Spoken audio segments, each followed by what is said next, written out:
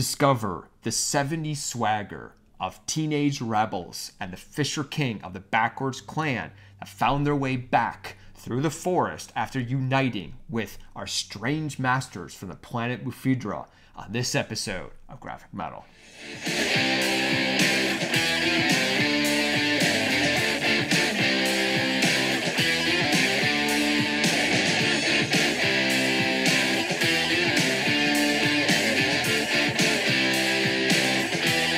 Metalheads, welcome to Grafikmetal, where metal is celebrated with design in mind. Today is our top picks from April and May 2024 for the sector of heavy power or symphonic metal. So grab your hairspray, lighter, it's time to party.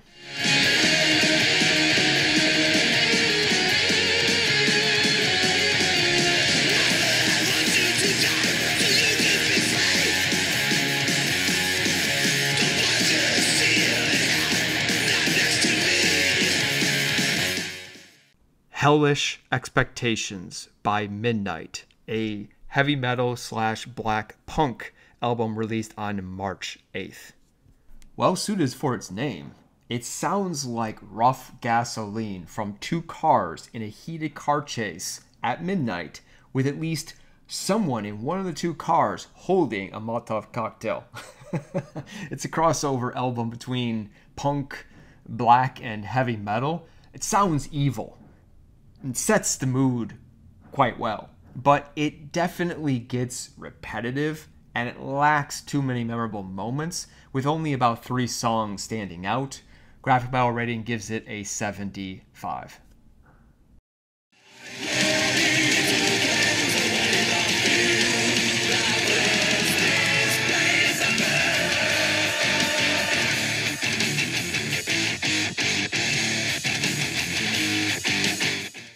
Legacy of Murfuidra by Coventhrall, a power metal album released on March 15th.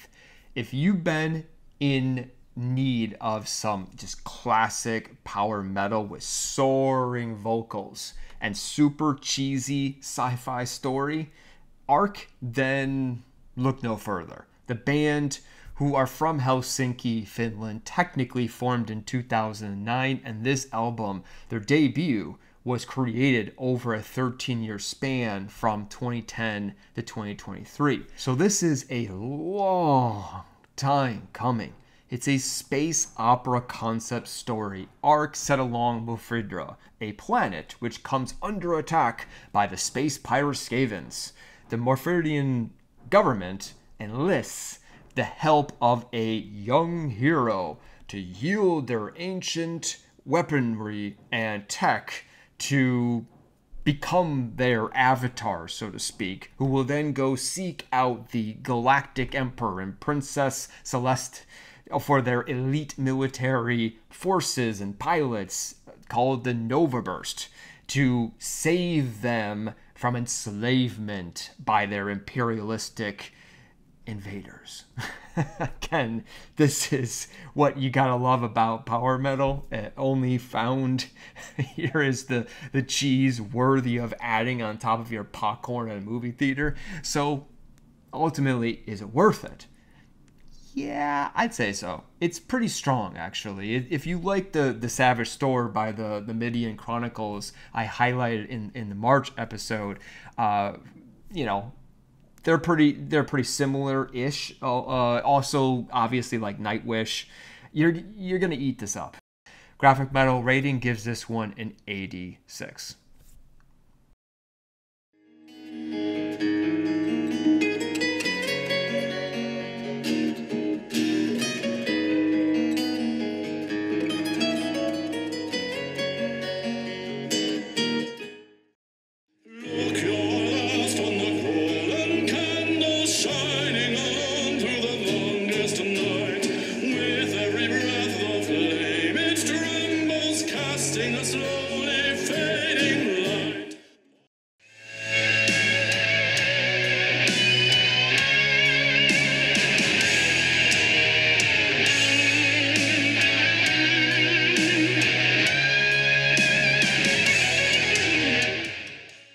Greyhawk by Thunderheart, a power traditional heavy metal album released on April 2nd. A power metal band who is taking the new wave of British heavy metal moniker to heart, even going so far as taking the iconic branding of bands like Riot and Budgie and so forth. In their case, they're using a hawk to depict on all their albums. The production, it's not the best, but the vocal, song structure, and musicianship are all impressive for a new-ish kind of band.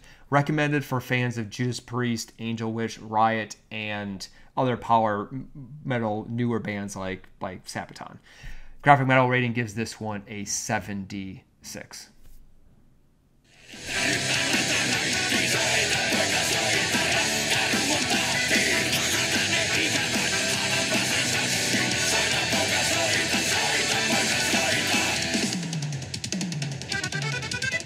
Rankarumpu by Korpiklaani, a Viking power metal album released on April 12th. The Backwoods Clan Lahti folk metal masters found their way through the forest to give us yet another disc, their 12th now, for quite some time.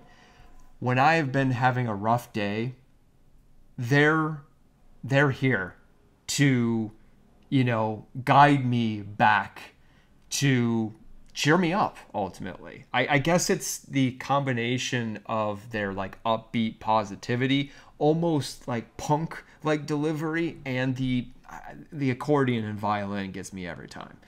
Uh, typically opting for folklore togetherness and talking about various creatures and figures of bravery.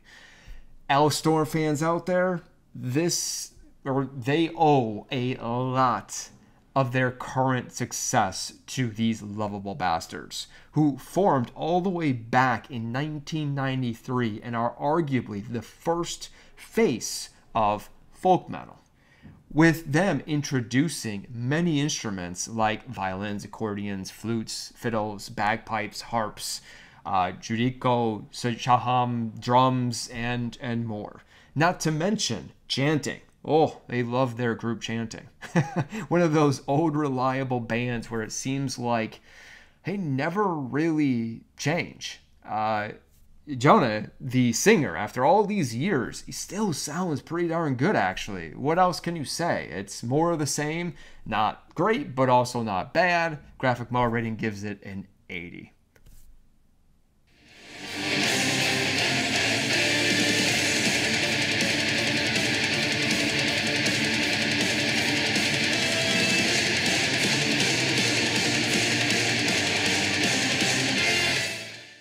Battle Ballads by Tyr, a Viking power metal album released on April 12th. The Therion Fisher Kings of Viking power metal are back after five years. I was always a big fan of this band, who naturally get linked to Amon Amarth, not because they're the same, they're actually quite different, but both have, you know, boosted a hell of a consistent catalog and the whole Viking thing though both have shown actually signs of wear and tear as of late. And this one probably might be my least favorite of theirs. The blade is just too rusty now. It doesn't cut through the bone like it once used to. It's a brutal truth to hear, but sad but true. Grafikmetal rating gives it a 72.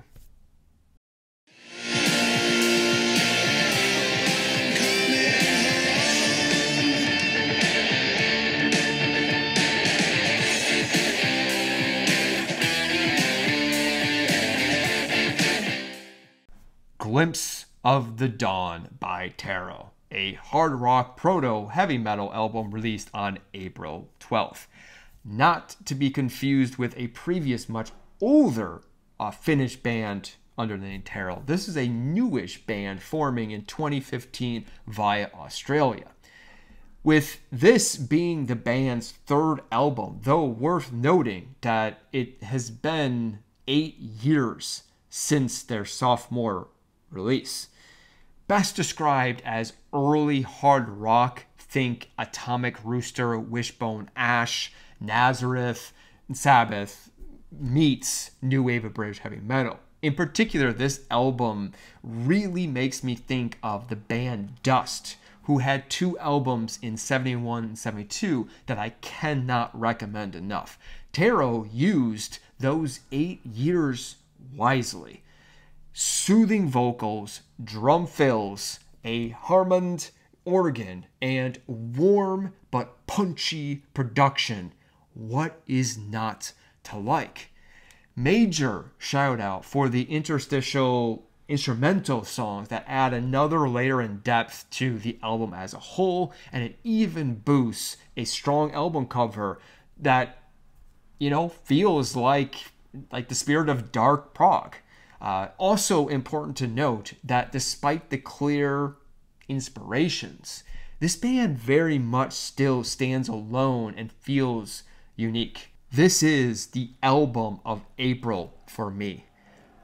No weaknesses or bad songs. It's steeped in 70s swagger with boost many moments that make you just go, oh, fuck yeah.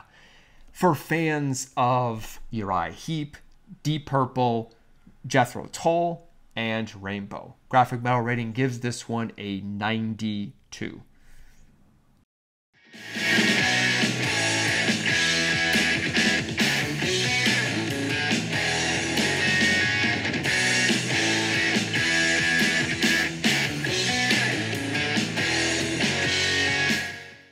Dark Sky Sanctuary by Freeways, a hard rock heavy metal album released on April 26.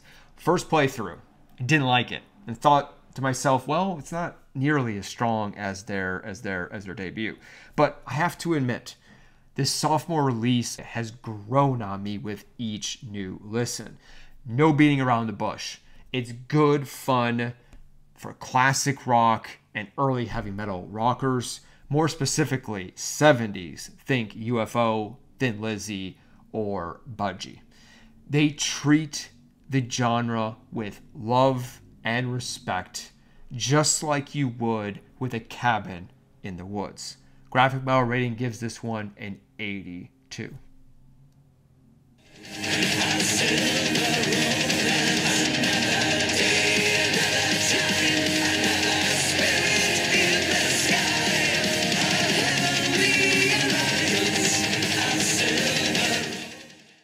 Silver Romance by Freedom Call, a power slash heavy metal album released on May 2nd. We all have at least one of those bands that we just secretly love without ever speaking about it, at least out loud, for fear of the dreaded eye roll.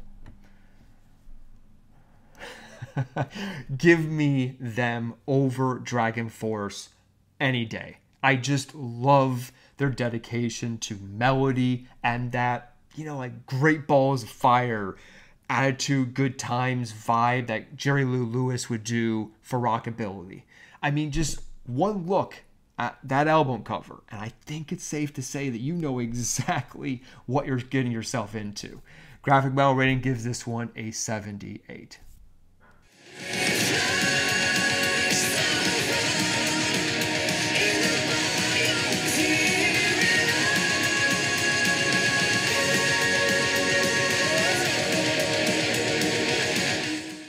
Phantoma by Unleash the Arches, a power slash symphonic metal album released on May 10th.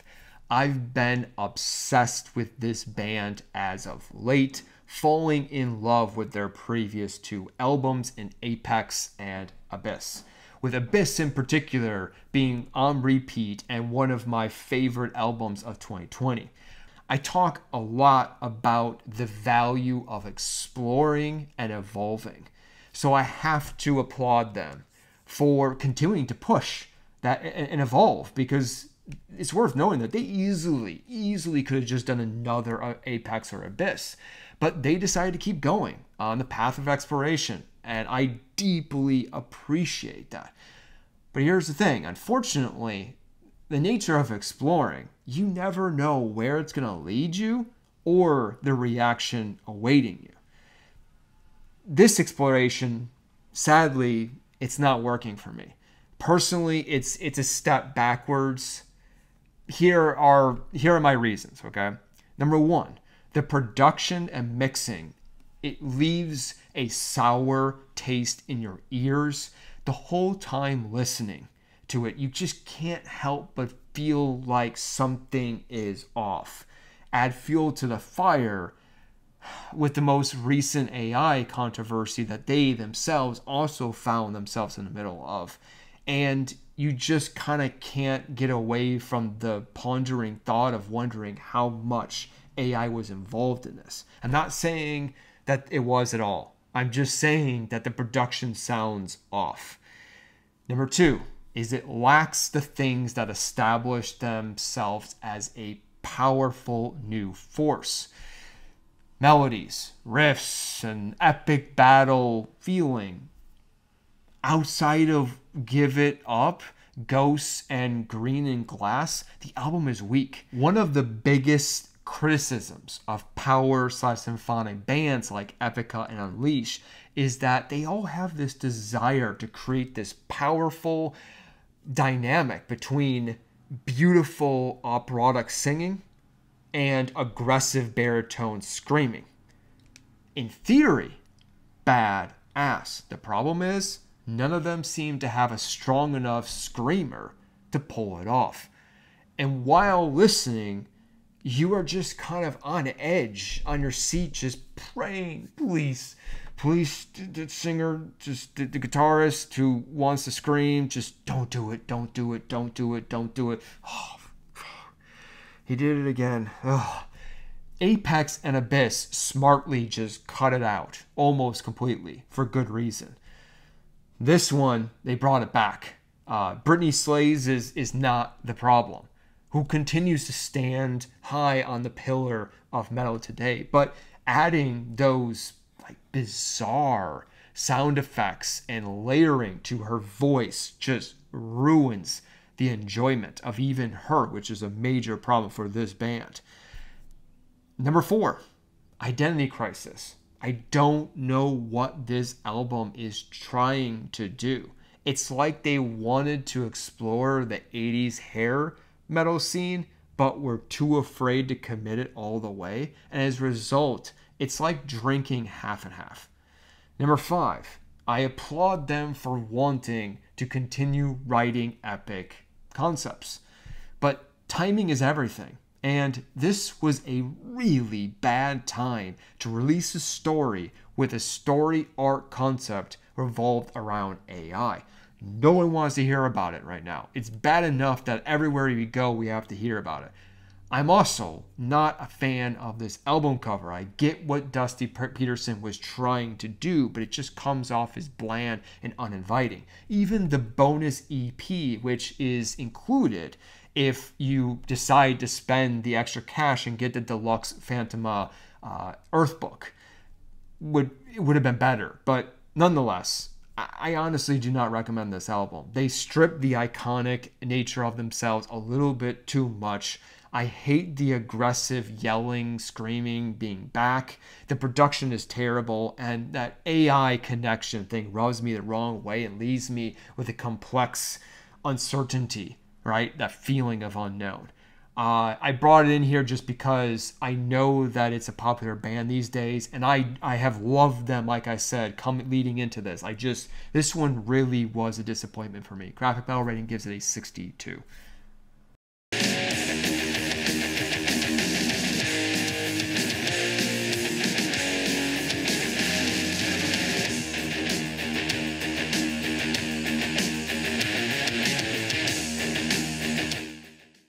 Strange Masters by Zigzags, a heavy metal slash punk album released on May 17th.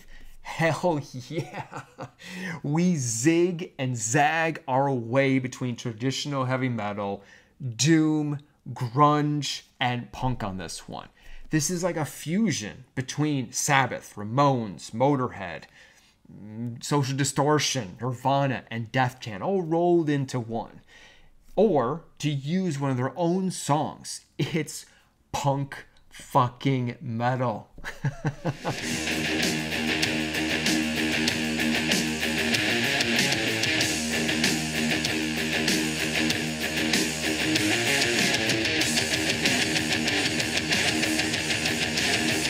and it's the album of May for me personally, without question. What's also badass about this band is actually how they got their name. Guitarist and singer Jed Maheu and drummer Bobby Martin were both wearing the same cheap shoes when they were first talking about the idea of starting a band back in 2010. Those shoes were zigzags, and they thought to themselves, hmm, well, if we're going to do this, we should call ourselves the Zigzags. Indirectly, could they have possibly known that it would absolutely be the perfect name for them? I love everything about this disc, from the title of both the album cover, each of the song titles, and the lyrics, and the originality it presents, and the energy and the mood, the vibe it makes you feel. This album was meant to be played before, during, or after a party. Here's to the Strange Masters Grafikmetal rating gives this one an 88.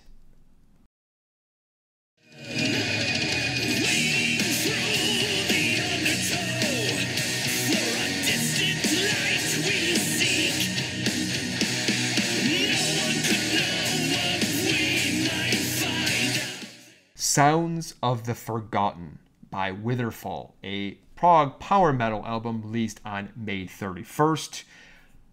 These guys busted out onto the scene with vengeance, unleashing a hell of a debut that grabbed everyone's attention, both from prog and power metal circles.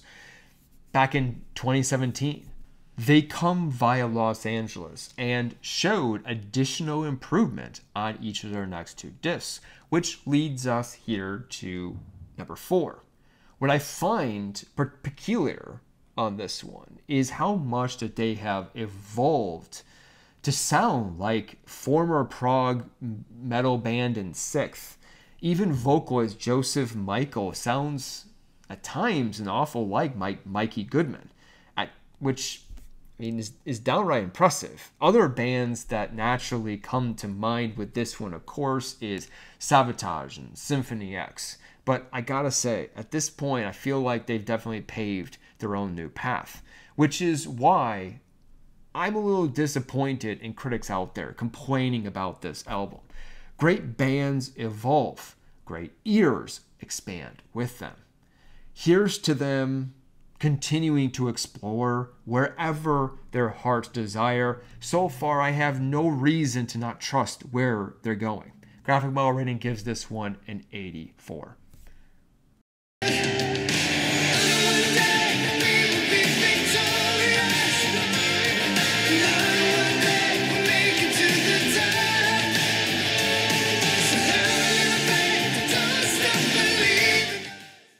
Teenage Rebel by Nestor, a retro glam slash heavy metal album released on May 31st. Heck yeah, I'm ready to bust out the hairspray, fanny pack, and original Nintendo for this one. And don't you dare be embarrassed by liking this one too. I get it, it's not gonna be for everyone, but come on, this is just so much fun. It's vibrant, it's got silky, wet memories coming with it, which you know, I wish that they had tightened up the, the cover photo editing a little bit better on, on, on the on the, the cover art. But I love the concept direction because it instantly captures the, the vibe and what they're trying to go for. And bonus points for them cleverly using the idea of having the album title uh, on each of the back designs of the sweater and the jean jacket. Pac-Man, Gretzky, and Weaver would would be proud of this one. And hot damn, go Napalm Records for supporting this act. We wouldn't I wouldn't have thought. only bummer was was you know discovering this this band sadly is not a new band. Uh, actually, they they formed back in 1989, but were dormant until kicking it back up in 2021. As such, I don't know about seeing him live because oh, it would be pretty awkward to see a bunch of middle-aged Swedish dudes trying to play this live with a straight face. Actually, uh, to me, that's why glam and punk were were never realistically going to succeed for a long time because the moment that the members reach over 40, it just feels weird. Like regardless, you want to remember the 80s when you were teenage rebels, right? This is the album for you. For fans of also Night uh, Flight Orchestra or any age retro 80s. Grafikmetal rating gives this one an 82. And that was the list. Here are some of the other subgenres and other videos. And check back soon for the continuation of the rest of the subgenres of rock and metal album picks for April and May 2024, coming very, very soon. Until then, cheers and keep on rocking.